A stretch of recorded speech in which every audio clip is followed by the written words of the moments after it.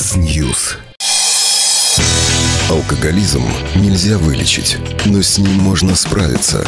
С наркоманией можно бороться. От игромании можно отказаться. Когда трудно противостоять, но возможно победить. Вопросы слушателей, мнения экспертов, реальные истории. Специалисты ответят на ваши вопросы, а гости расскажут о том, как сделали свой выбор. Только на Радио Болтком. Добрый день, уважаемые радиослушатели. Первый выпуск э, программы «Выбор» в новом году. Я напомню, что летом прошлого года программа вышла в эфир, и мы продолжаем говорить с вами о проблемах зависимостей.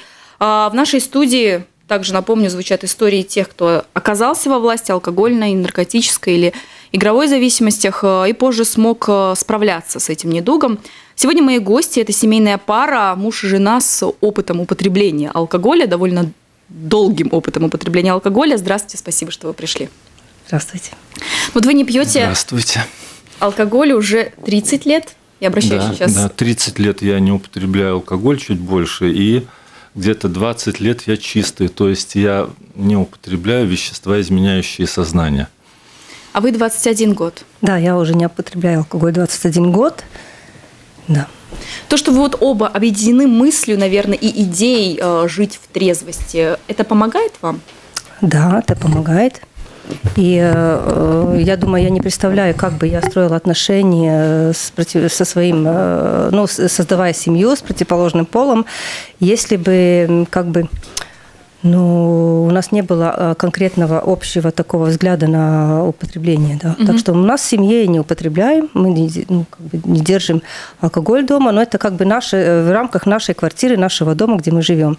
И как бы не имея никакого ну, мнения, ну, другие могут употреблять, это их право, как бы так вот. Чисто специфически, индивидуально.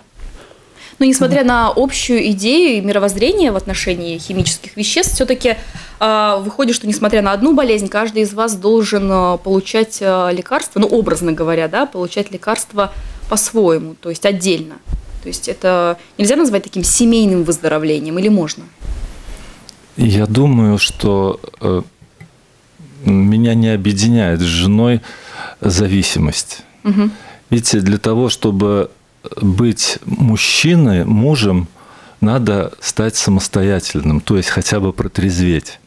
И меня с женой объединяет любовь, и я ее люблю, она мне очень нравится. И э, это моя частная жизнь скорее. Но то, что я трезвый, это мне очень помогает быть человеком, самостоятельным, достойным человеком. Как ваша история любви началась? Ну, она началась э, 2002 году, когда мы решили, что попробуем жить вместе. И э, ну, рассказали, скажем, моей дочке, сказали, она был первый человек, который узнал, что мы решили попробовать жить вместе. И когда мы как бы договор, э, договорились, объяснили, раскрыли все карты, я рассказала, эм, как бы я сделала перед этим очень большую работу в своей жизни, да, э, потому что пунктик найти, э, создать крепкую, нормальную, здоровую семью, это тоже как бы для меня было не совсем легко. И э, я решала этот вопрос, потому что мой брак сейчас – это мой третий официальный брак. И всегда был болезненный этот вопрос создания как бы, длительных здоровых отношений. И э, я проделала довольно большую работу, и потом, когда у нас был разговор, что мы признавались друг друге в своих симпатиях, в любви, и с намерением, что возможно, что у нас создастся какие-то ну, здоровые отношения, я ей рассказала, э, что, я, что, я, что я из себя представляю, э, что я хочу, чего я не хочу, как бы я открыла все карты, да, и предложила вот мужчине, как бы открыла, ну, глаза, и без обмана, без манипуляций, как бы там, ну, ну а об истории зависимости вы на каком этапе рассказали друг другу и узнали о том, что вы оба были э, во власти этой зависимости? Ну да, я, скажем, познакомилась с своим мужем, э, но тогда я не думала, что это будет э, у нас такие отношения в сообществе. Э, и мое выздоровление, скажем, мое эм, неупотребление, я не могла одна справиться. Я поняла, что мне нужна помощь, и я обратилась за помощью в 12-шаговую организацию. Угу да, и там я обрела вот эту поддержку, обрела трезвость и, и больше не пила ни разу. Я много что узнала об этой болезни, о себе, как это работает и так далее. И там э, я встретила много интересных разных людей, и как-то вот мы начали, э, скажем, у меня на данный момент очень много друзей, знакомых, не только из э, Содружества, но как бы, ну, как и у любого человека, есть и коллеги, и, и соседи, и родственники, и так далее. Но одна довольно большая часть моей жизни – это люди, которые выздоравливают, единомышленники, которые ну, хотят не употреблять, и применяя для этого есть много вариантов, как с этим справляться. Ну, для меня самый удобный, дешевый, и, ну, который мне годится. Доступный. Да, доступный и приемлемый – это вот именно содружество. Э, да, и и там много людей интересных, и как бы в частном, в частном порядке мы встретились как бы у наших общих друзей, познакомились. В процессе выздоровления это было, получается, ваше знакомство? Да, да, да. Я пришла, э, как бы я бросила пить, если так можно так грубо сказать, что в 1998 э, году. Угу. А встретились мы в 2002. То скажем, 4 года у меня уже было постоянно чистое вот, трезвости. Ну вот после долгих лет э, алкогольной зависимости, какой была жизнь в трезвости для вас? Ну вот хотя бы на момент встречи с женой, будущей женой. Я самостоятельный человек был, и я первый раз за долгое время подключил голову вместо нижней части тела. У Высоцкого вот есть замечательная песня о нашей встрече «Что там говорить?». Я ждал их так, как ждут стихийных бедствий там и дальше. Но это обычно у меня было так. Я сначала на поводу страстного импульса затеивал отношения, а потом они плавно переходили в быт, ну и потом это уже все узаконивалось. И я первый раз в жизни, вот у меня очередные отношения разрушились, и я первый раз в жизни подумал, а что я хочу на самом деле? Угу. Не только эмоционально, ну, страстно, но я и подумал, и я, ну, подумал, у меня была искренняя симпатия и предложил вместе что-то построить сознательно, а не просто, ну, в очередной раз терпеть катастрофу. То есть благодаря 12-шаговой программе вы стали иначе смотреть на мир, и в том числе и на людей, и, наверное, на объект своей симпатии, скажем так, уже иначе и глубже, может быть. Я получаю поддержку от очень разных организаций. Одна из моих любимых организаций, которая мне когда-то помогла очень сильно и сейчас оказывает помощь, это анонимные алкоголики.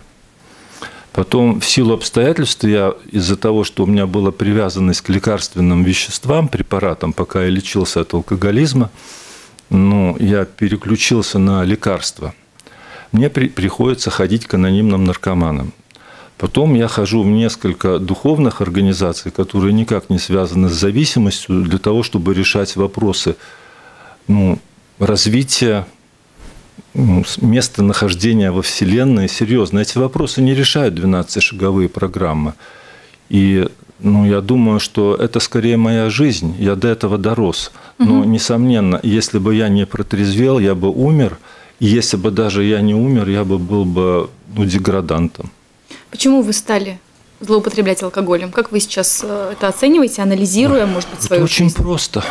У меня душа болела. У меня душа болела, потому что я думаю, что, ну, я осмелюсь даже сказать, все люди, которые пьют или употребляют наркотики или лекарства, они э, ну, перетерпевают сильную боль от насилия. Угу. Ну, и у них душа болит от того, что они живут в условиях, где им плохо, где им кто-то причиняет вред. Социальные, эмоциональные, духовные, интеллектуальные. То есть давление. Вот я иногда был у своего знакомого, тоже вот в связи с алкоголизмом, он попросил подойти, разговорить, поговорить после запоя. Это город Рига, сухой туалет. Он работает без оформиловки за минимальную зарплату, очень тяжелую работу те, кто его эксплуатирует, ему причиняют очень сильную боль. В этих условиях нельзя не пить. И я сам ну, поднимался с социального дна самого. Давайте сейчас послушаем, что нам о своей зависимости говорил выздоравливающий алкоголик, о коварстве алкоголя, его проявлениях. Надевайте, пожалуйста, наушники. Поставим небольшой отрывок из прошлого эфира.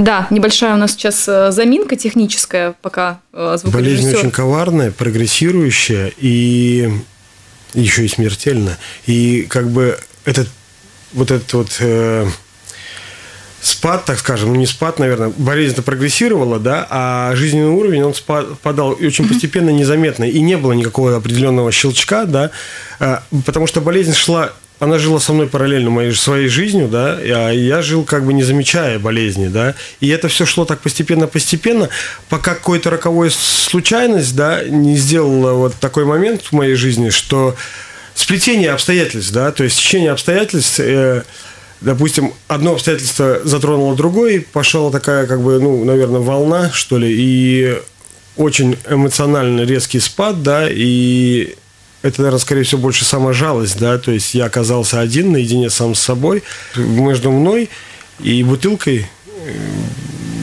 больше никого не было. Ну, вот между мной и бутылкой больше никого не было. Такие страшные слова, наверное, об одиночестве, да? Резонирует ли это с вашей историей? А, да, это резонирует. Знаете, если я э, согласна с этим человеком, уже в какой-то стадии действительно себе жалко, но если я скажу про свой алкоголизм, да, скажем, mm-hmm. ну, а, мне никто диагноз алкоголизм не ставил. Я уже немножко в нашей беседе перед этим говорила, что чтобы э, поставить диагноз алкоголизм, это нужен специалист, врач, нарколог, который поставит э, там по, по ну, э, этот диагноз. У меня такого диагноза нету официально, но я, скажем так, сколько я узнала про себя, я поняла, что, наверное, это так называется. Да? Скажем, я э, поставила этот диагноз сама себе, сколько угу. это возможно. И я как-то боролась, ну, старалась решить эти проблемы.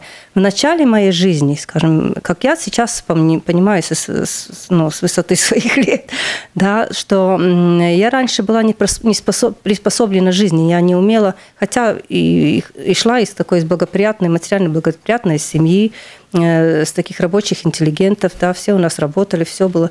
И я была одаренная девочкой, хорошо училась, как бы занималась там всякими, ну, э, после школы, да, какими-то кружками, много читала, много интересовалась.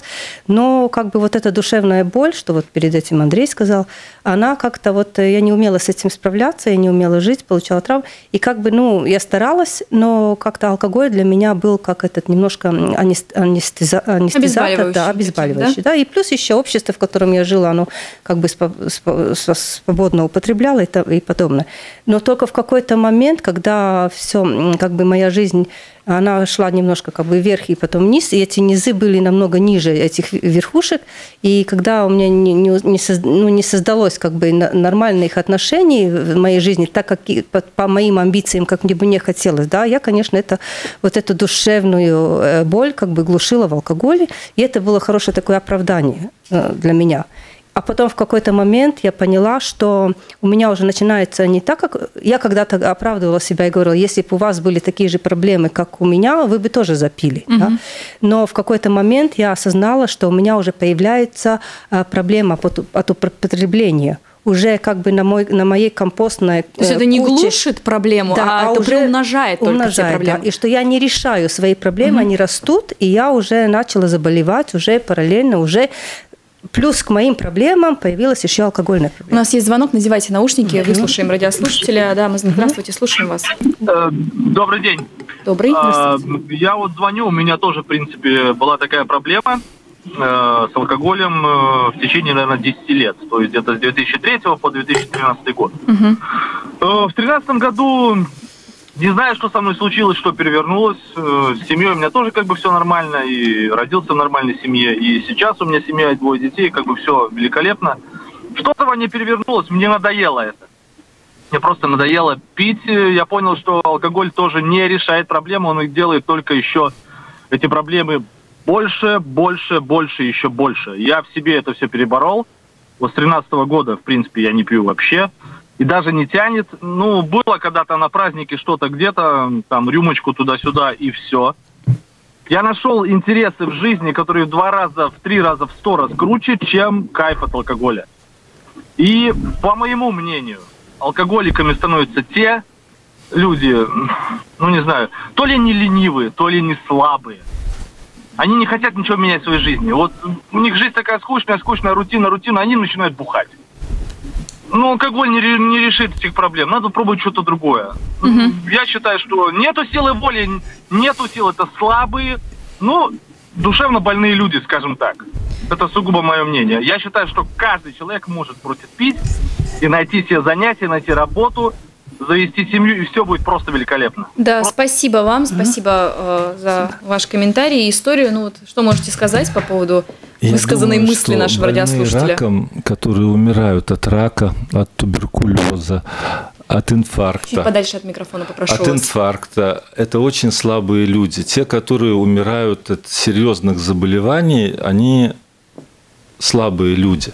Бывают люди на первой стадии рака выздоравливают. И, скорее всего, я не отношусь к легким формам зависимости.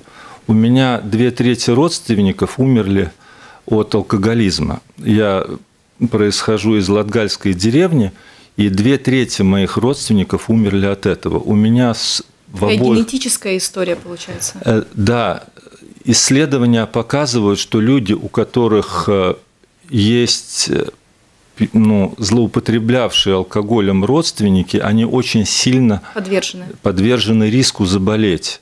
И мое заболевание я начал пить в 13, 15 я уже пил 2-3 раза в неделю, и первый раз я пил месяц в 19 лет. И я первый раз в больницу попал в 21 год. И я не хотел этого. Я сомневаюсь, что кто-то хочет заболеть раком, язвой желудка или же умереть от инсульта. И мы все слабы. Вот мне пришлось признать, наверное, такую общечеловеческую истину, что э, показывать себя сильным перед э, ну, мощью Вселенной – это большой риск. Мне нужно признавать в определенные моменты, что я слаб, обращаться за помощью к добрым людям, которые обладают опытом, и жить. Да ведь так не просто сказать себе «я слаб». Это ведь кажется так просто сказать, но так не просто это осознать, прочувствовать и с этим смириться по-настоящему. Есть такая цыганская пословица у народа ромов, Особенно что... мужчине, простите, да, чтобы, э, чтоб ты гордым стал. Знаете, вот это на самом деле проклятие моего рода. У меня все были гордые. И знаете, вот эта вот гордыня, э, она убивает людей. Я думаю, вот это истинная причина, почему люди не обращаются за помощью. И второе, эту гордыню, ну, ну, подстегивает неграмотное избиение больных. Люди осуждают, ведь до сих пор Э, алкоголизм, наркомания – это стигматизированное явление. Угу. Но люди не помогают, люди этих людей отвергают, презирают, эксплуатируют нещадно.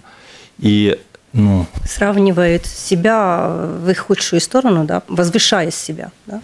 Ну да, и такое пренебрежительное отношение, да. но это и не считается во многом болезнью иногда. То есть иногда об этом говорят, об алкоголизме, как о вседозволенности, а, еще различная масса стереотипов распространенных, э, которые в том числе не помогают, а наоборот усугубляют. У меня чрезвычайно сильная воля. Я однажды шел за выпивкой в слякоть ночью 20 километров в бальных туфельках. Мерз, но я дошел. У алкоголиков и наркоманов, и у зависимых людей очень сильная воля. Просто она направлена на самоуничтожение – потому что она во власти э, какой-то одержимости. До сих пор медики не знают э, эффективных средств лечения алкоголизма. Да, уважаемые радиослушатели, подключайтесь также к нашему эфиру. Телефон, я напомню, 672-12-93-9 и 672-13-93-9. Мы говорим сегодня об алкогольной зависимости и ее проявлениях в том числе. Может, вам приходилось э, сталкиваться с алкоголизмом среди ваших близких, знакомых, может быть, ваши родные как раз переживают этот период. А, возможно, у вас есть истории, связанные с этой зависимостью, которыми вы бы хотели поделиться и рассказать, вот как сделал наш радиослушатель, позвонивший до этого. Ну или задать вопрос нашим гостям, а, тем, кто как раз а, был во власти алкогольной зависимости и теперь живет в трезвости уже долгие годы. Мы сейчас сделаем небольшой перерыв и потом вернемся и продолжим. Оставайтесь с нами. Mix News.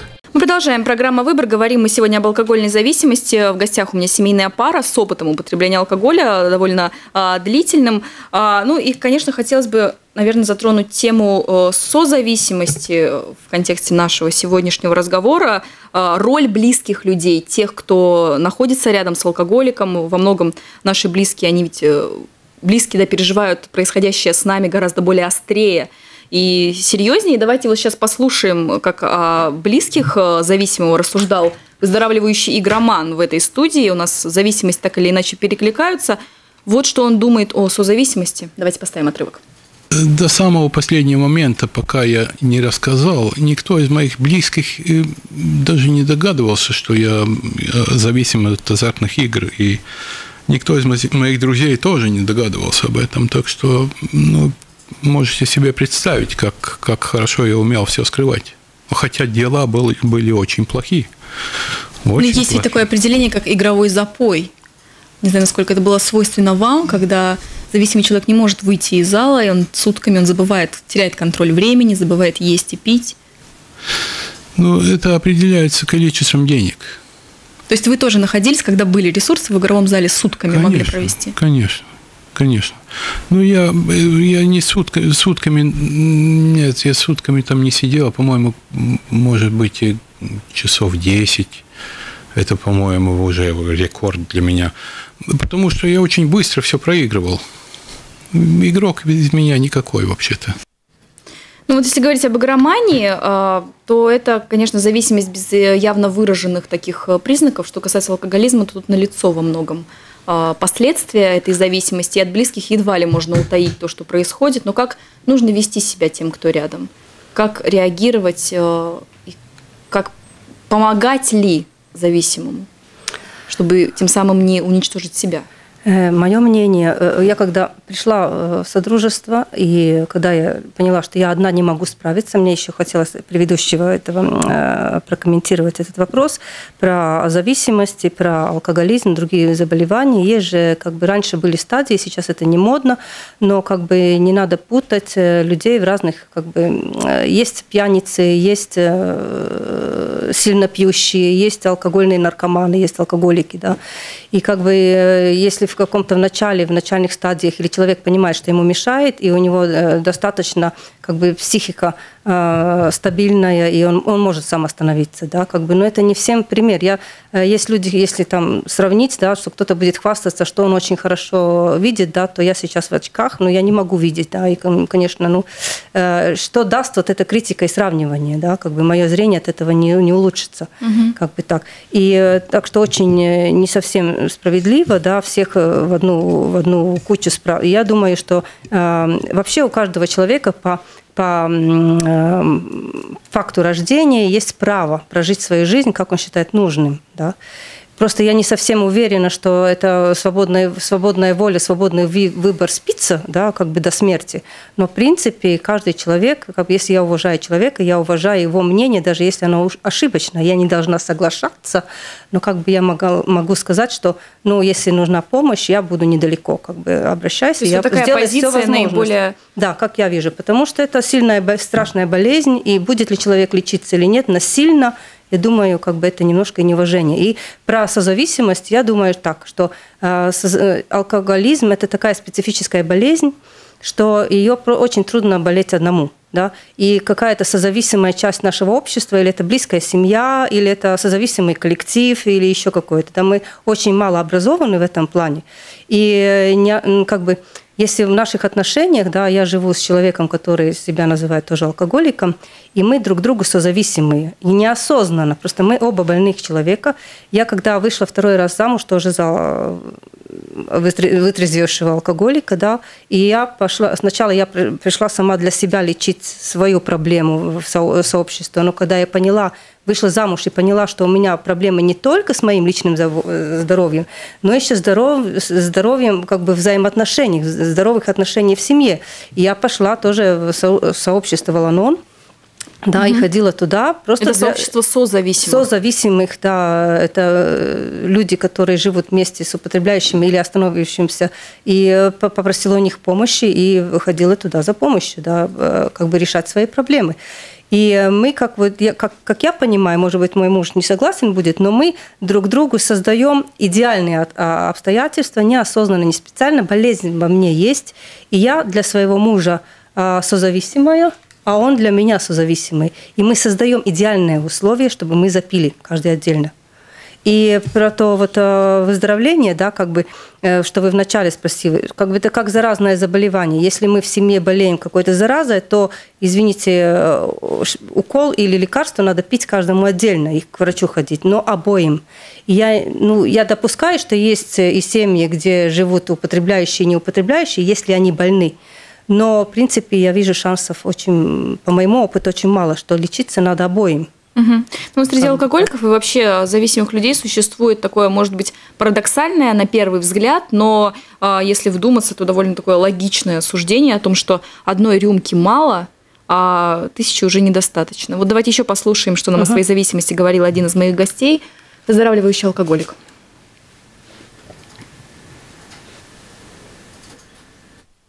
Да, мне, как вот, например, есть люди, болеющие сахарным диабетом, да, угу. им нельзя, чтобы у них повышался сахар в крови. За этого им нельзя какие-то определенные вещи делать, да, и какие-то продукты там есть, да, то есть как это вовремя колоть инсулин, да. Мне, как для алкоголика, вообще минимум, что надо, да, просто не выпить первую рюмку, да, потому что как физическая тяга сразу начинается, то есть физическая болезнь моя проявляется, как только помогает меня алкоголь. Угу. Мне одной рюмки это много, а уже двух это мало. Ну вот в вашей истории зависимости было ли это, вот это осознание и это ну, такая рубежная черта, когда одной мало, а тысячи уже недостаточно? Да, да, да, это есть такое. И что я отказываюсь полностью навсегда, но это как бы есть такая фраза у нас, что любой человек может сутки не пить, любой. Но что делать с этой жизнью? Потому что я начала употреблять, потому что у меня были проблемы. И мне надо было как-то их заглушить, как-то уменьшать, как-то как-то. Я, я нашла для этого, я выбрала алкоголь. Некоторые выбирают наркотики, сидят на барбитуратах, там сердцем плохо или что, сидят на лекарствах или еще куда э, уходят э, работоголизм, другую, любую крайность. Да. И э, мне как бы сейчас в программе что предлагается? Я не пью, это и все. Да, как бы я не употребляю алкоголь в своей жизни вовнутрь. Да.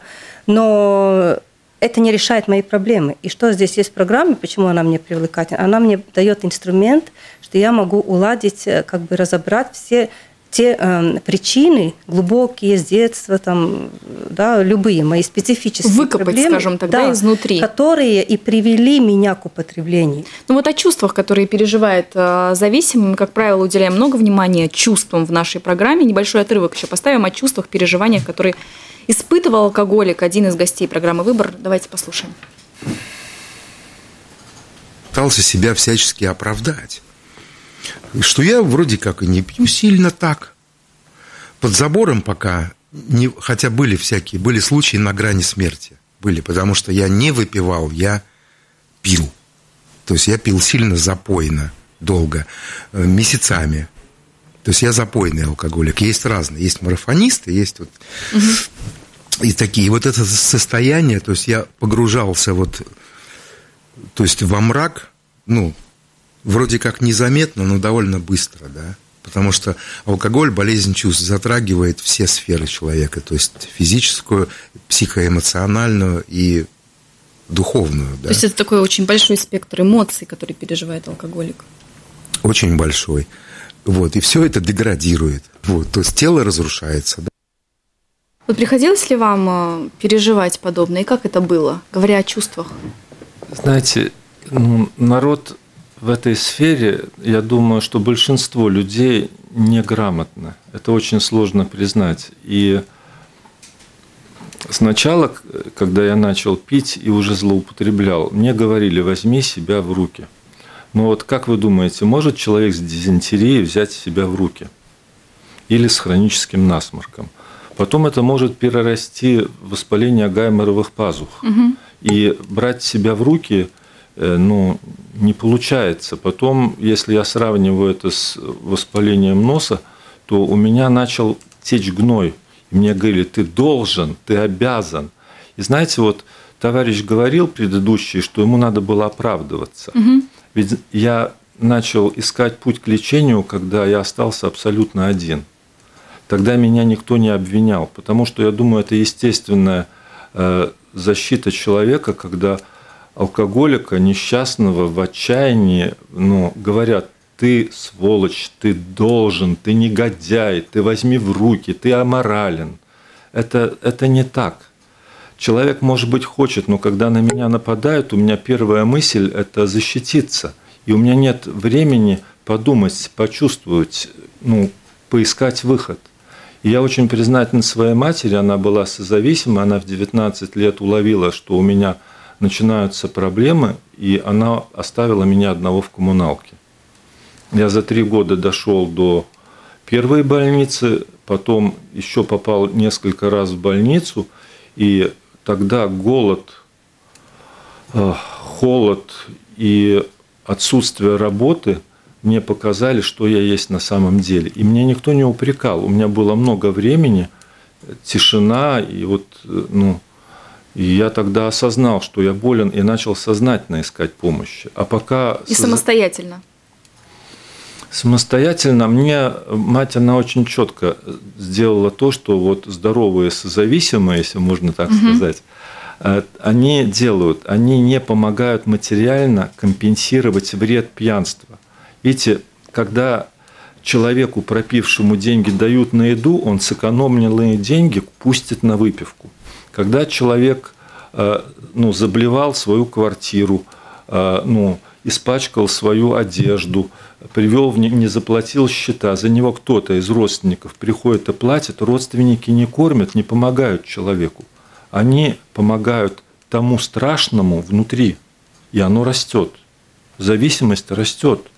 И вот этот вот момент люди обычно из-за чувства вины и стыда они не замечают. Им стыдно перед за близкого, перед родственниками, перед окружающими. Понимаете, это, там очень много боли, сокрытия, стыда, неудобства и обвинения друг друга. А на самом деле лучше всего успокоиться. И я, мама мне помогала ну, лечиться. Вот угу. если я выказывал, просил лечиться, но она начал, прошла все этапы. И, но в конце она, если я выказывал желание лечиться, она это поддерживала, остальное четко нет. Давайте еще о чувствах послушаем, чувствах э, зависимого алкоголика. Небольшой отрывок поставим. Чувство вины, оно разрушающее чувство. Это очень сильно угнетает употребляющего алкоголь. Вот как меня, я, меня очень сильно это угнетало и грызло. Ой, как, как я виноват. Ой, сколько я всего натворил.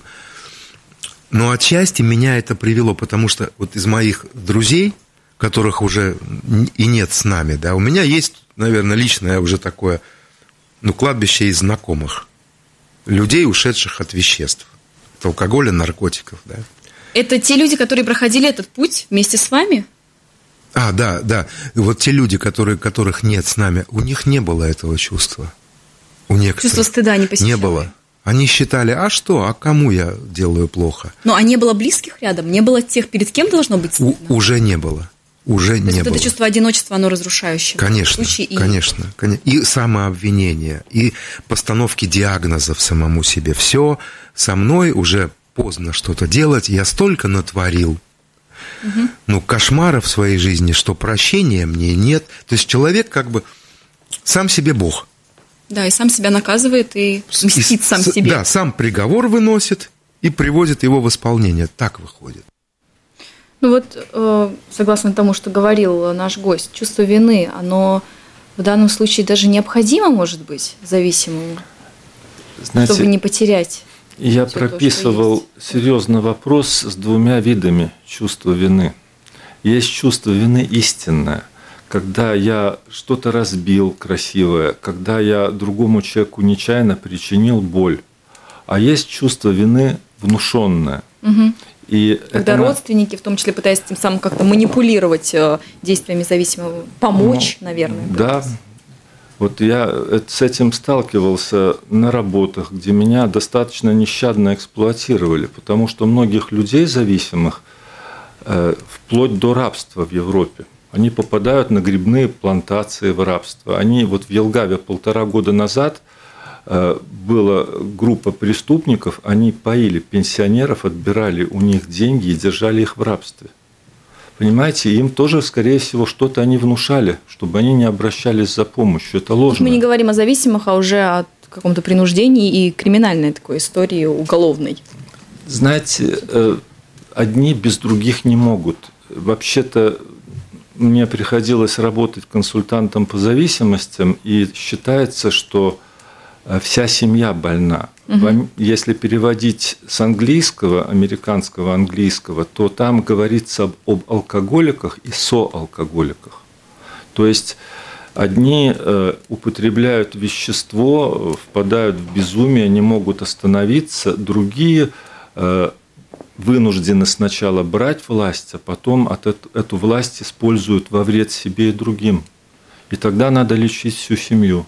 И это ну, точка зрения современной медицины. Еще есть такой, простите, что да. Э, есть такой э, термин такой не очень приятный для созависимых или людей, которые живут и стараются помочь, но как-то помогает в другую сторону. Вот как силой воли, да, у алкоголика сильная воля, но он идет как-то в другую сторону. Так и созависимые. Есть еще не только соалкоголики, а пассивные алкоголики, их иногда называют. И это выгодно, а, ну, если так можно применить это слово, да, имеется вторичная выгода, а, почему рядом человек спивается и почему так хочется ему помочь. И как бы и сделать вот парадокс, сделать все возможное, выбрать настолько неэффективные способы помощи, а, потратить много денег, много времени, как будто ну, для галочки много чего сделано, а вот этот э, как бы не выздоравливает и нет. Задается вопрос, почему? То есть да? созависимый хочет остаться в своей зависимости? Это выгодно обоим. Тогда алкоголик может пить, а созависимый может иметь этот, этот ауру вот этого спасателя такого. Спасателя, хорошего человека. Вот мир э, сочувствует. Видите, нету там гармонии, нет. Угу. Как одному очень все мало, другому все лавры другому. Да, типа он же такой хороший человек. И все сочувствуют. Как ненавидит одного, так сочувствует другому. Как бы, и это вот э, они как бы такая вот парочка вот вместе нераздели, неразделимая и без разницы это жена или мать или там брат и как бы Э, да, вот э, это такая страшная болезнь. Вот это так парадоксально вы сказали, и очень mm. интересно, потому что бывают ведь пары, и я слышала такие истории, в том числе общаясь с зависимыми людьми, о том, что а, а, расстаются муж с женой просто потому, что муж, э, выпива, который пил долгое время, начинает выздоравливать, и в таком случае просто жене становится нечего делать. Да. Вы знаете, обычно зовет о помощи тот, который ну, слабее, кому хуже. Да? И э, когда мне тоже было, э, брала на себя обязанность служить на информационном телефоне, звонили люди.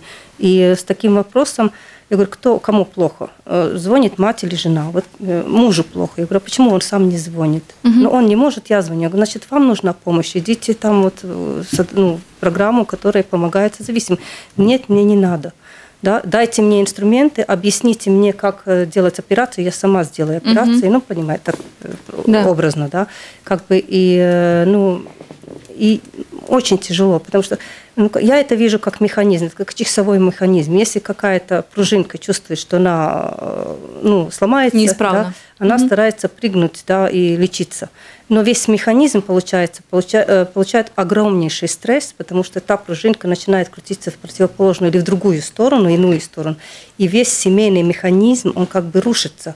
И было, ну, с одной стороны, может, жестоко это звучит, да, но как бы, ну, алкоголик, который спился, и уже все понимают, что он может и умереть, как бы и семья с этим уже смирилась, да, и не пойдет ради этого какого-то там э, человека, который не, не исполняет свои обязанности, подвел всех на свете ради него, сейчас все будут крутиться как нет, а пошел он лучше пусть будет и сдох, да, угу, простите, что да. я так в эфире говорю, да, и э, и действительно рушится, потому что механизм начинает крутиться в иную сторону.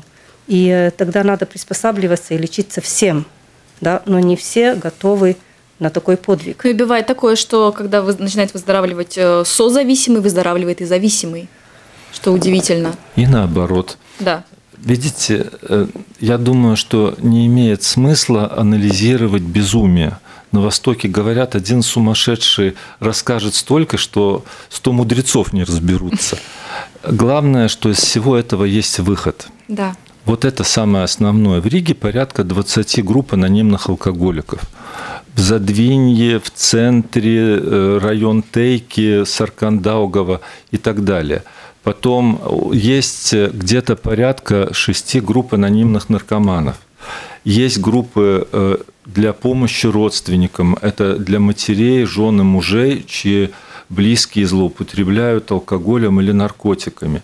Есть еще организация, куда мне сейчас приходится ходить, потому что оказывается, что всему этому послужили те травмы детские, которые я пережил в детстве. Меня пороли и говорили, что мне надо любить тех, кто меня бьет ремнем в кровь.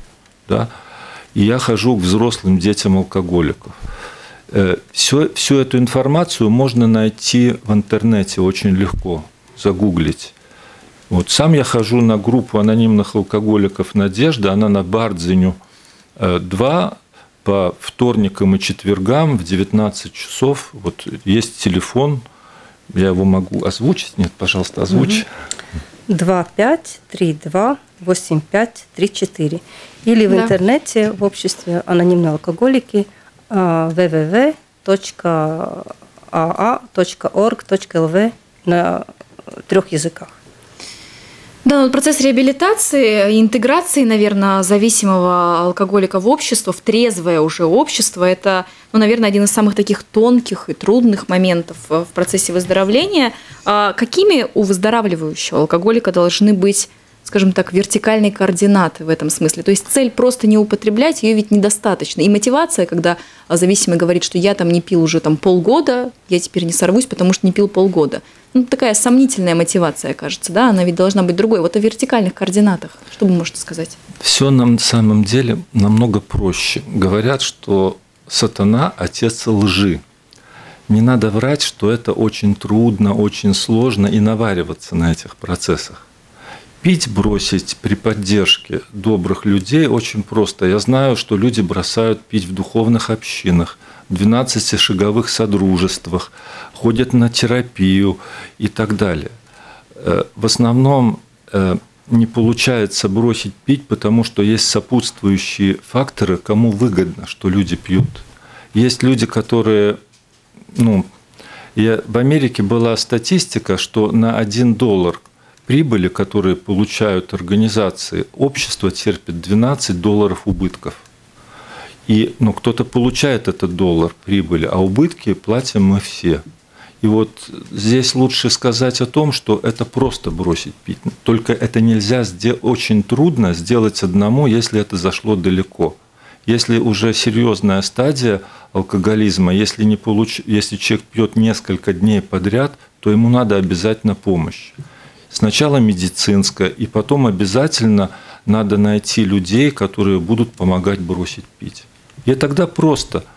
Самому изобретать велосипед очень сложно, но пойти в кружок велосипедистов – это очень просто. Научиться ехать, собирать и ремонтировать. И то же самое с трезвостью. Я очень признателен своим наставникам. Люди с меня не брали денег, не навязывали мне верования. Я достаточно свободен. Я себя не чувствую зависимым от людей. Ну, от жизни, от Вселенной, от Бога, да, но от людей нет. Я самостоятелен, самодостаточен. И я думаю, что вот это меня э, делает ценным в семье. Потому что разве может не самостоятельный человек создать целостную семью? И вот, вот это просто. Не надо оставаться одному с этими ужасами, потому что э, люди, которые это пережили, мы готовы помочь. Ну, есть, я добавлю еще, есть такая э, проблема, что вместе с алкоголизмом очень часто бывают еще и другие параллельные заболевания, психические расстройства. И э, как бы вылечить, есть некоторые формы, да, или как бы стадии, или как еще лучше сказать, что они неизлечимы действительно. Когда э, человека сломлена эта сила воли, э, он не верит, да, что будет лучше, что это поможет. Разные, как бы легко осуждать, но можно как-то постараться помочь, но что ожидаемого результата может и не быть. И даже если человек, ну, как бы от употребления у него Э, ну, выжигается и появляется э, слабоумие от употребления, то э, это невозвратимо вообще. Да? И большая часть нашего здорового общества, да, мы как бы пестрые. И я не знаю здорового общества, которое не носит очки, у которых нет грибка, на, на ноге или который не кашляет. Так что наше общество, оно тоже такое, какое оно есть. Но как, каждый э, чисто свой э, личный э, индивидуум, да, он может здесь найти помощь, если он этого желает, и если у него не сломлено это желание. Да. Как бы. Спасибо вам, что вы пришли. К сожалению, время нашей программы подходит к концу. Говорили мы сегодня об алкогольной зависимости. Спасибо моим гостям. Я Анна Смирнова. Всего доброго. Спасибо.